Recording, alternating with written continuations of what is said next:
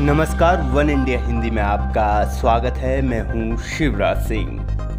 देश में आज़ादी के 75 साल पूरे होने पर आज़ादी का अमृत महोत्सव मनाया जा रहा है। इस महोत्सव से जुड़े एक पोस्टर पर विवाद खड़ा हो गया है। दरअसल, भारतीय इतिहास अनुसंधान परिषद, यानी आईसीएचआर ने आज़ादी के अमृत महोत्सव को लेकर जो पोस्टर जारी किया है, उसमें देश के प्रथम प्रधानमंत्री पंडित जवाहरलाल नेहरू की तस्वीर गायब है, जिसके बाद विपक्ष ने सरकार को घेरना शुरू कर दिया है।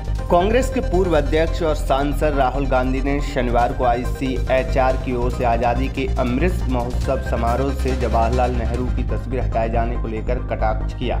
उन्होंने पूछा कि देश के प्यारे पंडित नेहरू को लोगों के दिल से कैसे निकाला जा सकेगा? राहुल गांधी ने फेसबुक पर पंडित जवाहरलाल नेहरू की कई तस्वीरें साझा की हैं। इसके साथ उन्होंने लिखा, देश के प्यारे पंडित नेहरू को लोगों के दिल से कैसे निकालोगे?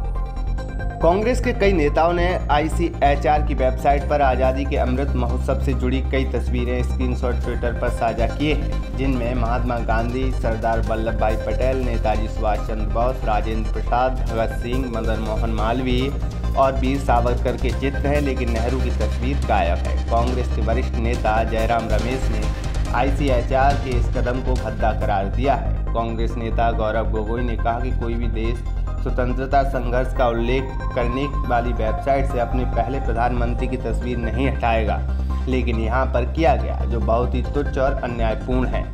वहीं कांग्रेस नेता शशि थरूर ने कहा कि आईसीएचआर ने पंडित नेहरू की तस्वीर हटाकर खुद को कलंकित किया है। पार्टी प्रवक्ता पवन खेड़ा ने ट्वीट किया, नेहरू जी की फ़ोटो हटाने से क्या खुद का कद बढ़ जाएगा?